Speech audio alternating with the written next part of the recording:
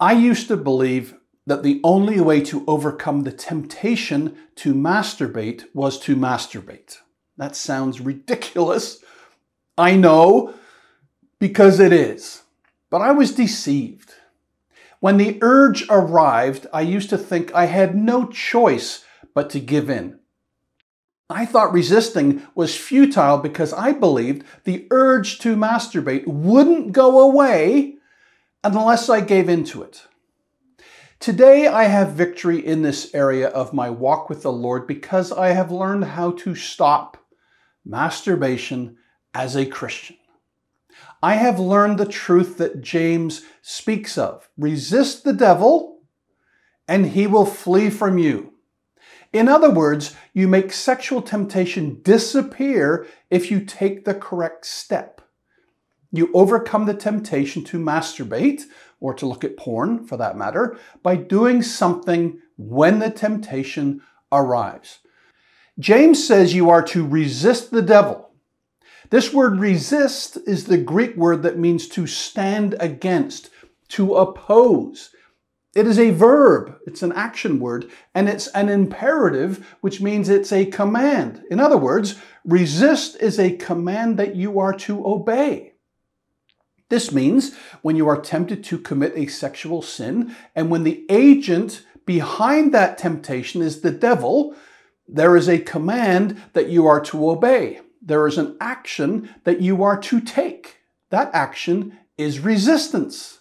You are to stand against the devil. You are to oppose the devil. And what happens when you resist the devil? He flees. Now, notice that James doesn't suggest that the devil might flee or that he will think about fleeing. James promises that the devil will flee, guaranteed.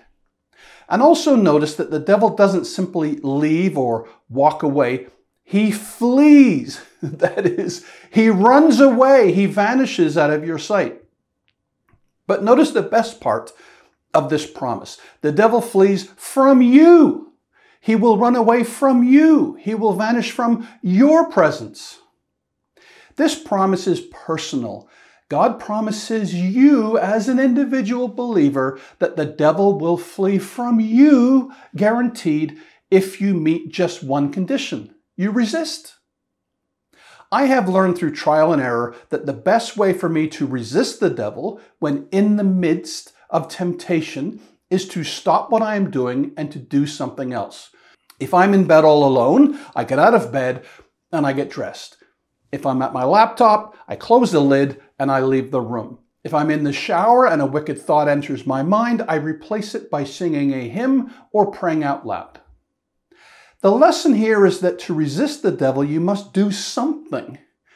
Resist is a verb. When you resist, you take action. When you take action, the devil flees from you. Now remember, masturbation is never inevitable, and temptation never lasts, not if you do something about it. This is hard to believe, I know. Before I got victory in this area, I simply couldn't imagine going months or years without pleasuring myself. I thought the temptation to masturbate would never go away unless I gave in, but I was wrong. Since then, I have learned how to stop masturbation as a Christian. I have learned firsthand that the temptation to masturbate, no matter how strong, goes away when the devil goes away. And the devil goes away when I resist him. I took five decades to discover this truth. Your results, I hope, will vary.